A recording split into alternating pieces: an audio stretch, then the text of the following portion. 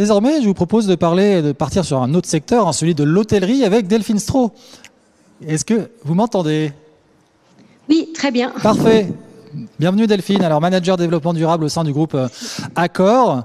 Donc on va aborder là les enjeux du développement euh, durable du secteur de l'hôtellerie et plus globalement sur les pratiques pour voilà concrétiser ces engagements au service du développement durable. Alors ma première question, euh, elle est assez globale, mais pouvez-vous nous résumer en quelques mots ce sur quoi Accor bah, s'engage pour travailler en matière de RSE, s'il vous plaît Delphine? Oui, alors je vais essayer euh, en quelques mots. Euh, donc en effet, on travaille sur la RSE autour de quatre piliers. Euh, premier pilier, vous vous en doutez, nos clients, donc c'est sans doute vous également. on cherche à proposer des expériences durables Très concrètement, ça peut être par exemple d'avoir euh, dans sa chambre des shampoings euh, sans substances controversées, des savons euh, avec un label écologique. Ça va être le fait de supprimer les plastiques jetables également lors de vos séjours, ou dans nos restaurants, proposer plus de produits végétariens, véganes, voilà, avoir une alimentation et des produits les plus durables. Et euh, donc, on, on s'attelle à cela dans toutes nos marques. Donc, ça va des marques économiques euh, type Ibis aux, euh, aux marques aussi Novotel, Sofitel, etc. Un autre axe, c'est de travailler donc avec la, une autre partie prenante, nos collaborateurs. Donc, on a énormément de programmes autour de la diversité, de l'inclusion, par exemple.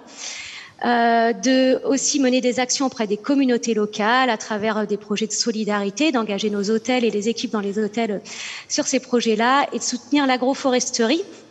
Par exemple, quand vous réutilisez vos serviettes, euh, ça génère des économies dont une partie des, fonds sont alloués euh, dans des programmes d'agroforesterie, de plantation d'arbres. Et c'est plus de 7 millions d'arbres qui ont pu être plantés aussi grâce à, vos actions.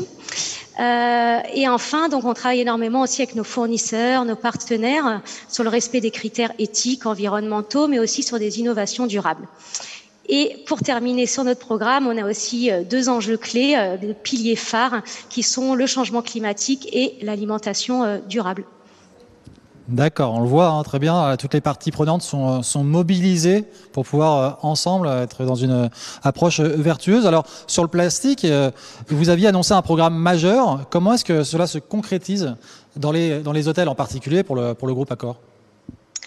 Oui, donc on a lancé un engagement en janvier 2020, euh, assez ambitieux, qui est de supprimer tous les plastiques à usage unique de l'expérience client. Donc euh, déjà fin 2019, on, euh, on, a supprimé les pailles, les touillettes, les cotons-tiges. Euh, là, on s'attelle à remplacer les petites bouteilles de shampoing, les petits contenants savon et autres liquides par des grands contenants. Euh, on supprime les verres en plastique euh, et on va travailler euh, également sur tous les autres produits pour parvenir à notre engagement à fin 2022. Euh, je vous cache pas qu'avec le contexte Covid, on a eu une recrudescence de certains plastiques à usage unique dans nos hôtels. on essaie hein, d'éradiquer tous ces plastiques supplémentaires. Euh, et on continue euh, à garder notre ambition et à travailler euh, au quotidien avec les hôtels, avec les équipes également, les acheteurs, pour trouver des produits plus durables. Alors c'est c'est pas facile, mais mais on y arrive. Hein. On, travaille sur beaucoup d'accessoires pour être très concret sur des peignes, sur les chaussons, sur le dentifrice, etc. Alors vous le disiez, les clients sont le plié, ça, crée, un des piliers, un pilier très important évidemment. Ça crée pas trop d'irritants en termes de de relations Vous le faites sur tous vos hôtels? Euh, ce, programme, il est annoncé sur tous vos hôtels, du plus économique euh, au plus prestigieux? Oui, euh, concernant la, la, suppression des plastiques ouais. jetables, en effet, ça va concerner, c'est un engagement au niveau groupe qui concerne tous nos hôtels. Euh, et euh, on voit que les clients sont de plus en plus en attente ouais. et peuvent même parfois nous reprocher euh, de ne pas avoir agi euh, sur, sur ces sujets. L'idée, euh, c'est pas non plus de tout supprimer et, et de ne pas proposer euh, euh, encore des services. Hein. L'idée, c'est de euh, proposer des produits plus durables et, d'être vers des produits également réutilisables, d'essayer de sortir du jetable. D'accord, très bien. alors, un autre pilier, lui, concerne l'alimentation durable. Alors, qu'est-ce que vous avez mis en place pour mettre en place justement cette alimentation toujours plus durable Qu'est-ce qu'on met en place chez, chez Accor?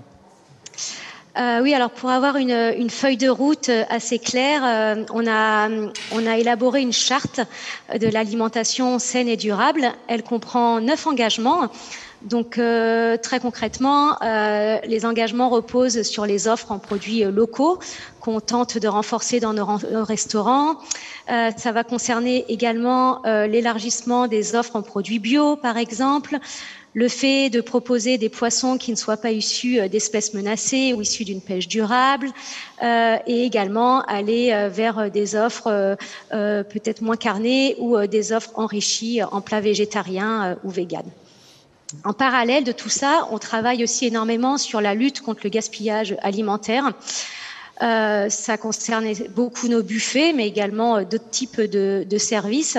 Donc, on travaille énormément sur les actions en amont pour réduire, mais aussi euh, en fin de buffet ou en fin de, repas. S'il reste des surplus, on travaille énormément avec Too Good To Go. Donc, depuis le, le, lancement de Too Good To Go, on travaille ensemble. C'est une excellente collaboration et on a pu redistribuer 450 000 repas avec Too Good To Go dans 650 hôtels. Euh, et là, on incite également euh, les restaurants euh, dans nos hôtels qui vont bientôt ouvrir, tout du moins en France, à continuer à travailler avec Too Good To Go parce qu'on voit qu'on peut proposer des paniers à prix réduit et, et, euh, et, que ça appelait euh, aux communautés euh, autour de nos hôtels. Joli partenariat en effet. Alors aujourd'hui, on le voit, hein, l'évaluation, notamment bah, la performance hein, extra-financière, elle est de plus en plus présente, importante. L'investissement responsable aussi, ça va, de pair pour les entreprises.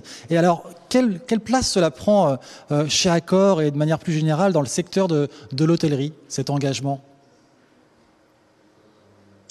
Oui, alors, euh, enfin, ça concerne le secteur de l'hôtellerie et également, j'ai l'impression, euh, toutes les entreprises en ce moment, Bien hein, extrêmement euh, sollicitées par les agences extra-financières. Euh, on est très challengé sur nos notations. Donc nos notations, euh, elles sont basées sur nos engagements. Euh, c'est très large. Hein. On est noté sur nos actions sur les sujets sociaux, les sujets sociétaux, les sujets liés à la gouvernance de l'entreprise, à l'éthique des affaires et bien sûr également à l'écologie.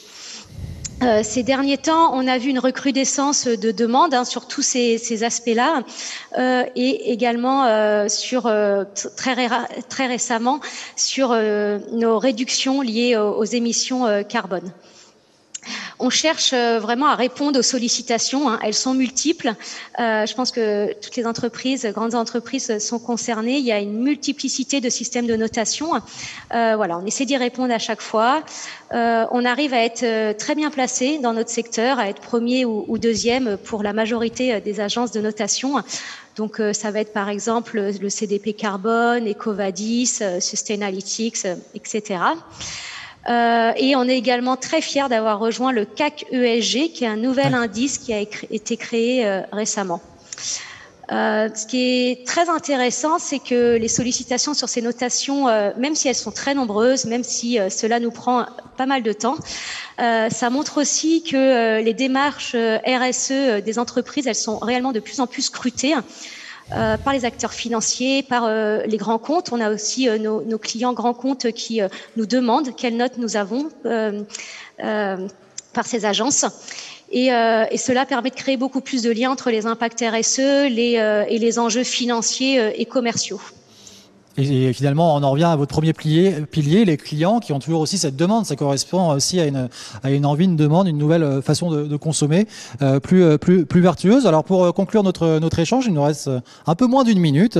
Euh, quelles sont les grandes tendances que vous voyez, vous Delphine, chez Accor, qui se dessinent dans votre secteur et qui pourraient occuper, vous occuper en particulier ces, ces prochaines années? Pense que dans notre secteur, euh, donc les enjeux liés au développement durable, ils sont connus hein, d'un point de vue des scientifiques. Euh, on sait euh, ce vers quoi euh, on doit aller pour limiter nos impacts. On, sait mesurer également nos impacts environnementaux et, les plus importants qui sont liés à notre activité. Comme vous l'avez ressouligné, donc on voit que nos clients, nos partenaires, nos grands comptes semblent de plus en plus prêts à agir avec nous. Euh, que le temps est compté euh, et euh, je pense que les prochaines années vont être très occupées à s'assurer de délivrer des solutions concrètes pour nos hôtels, pour agir au plus près de nos, nos hôtels et aller vraiment dans, dans l'action pour tenir nos engagements.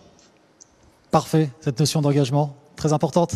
Merci beaucoup, Nathalie, Delphine, et je vous dis à, très bientôt au Hub Institute. Bonne journée à vous. Merci, au, revoir.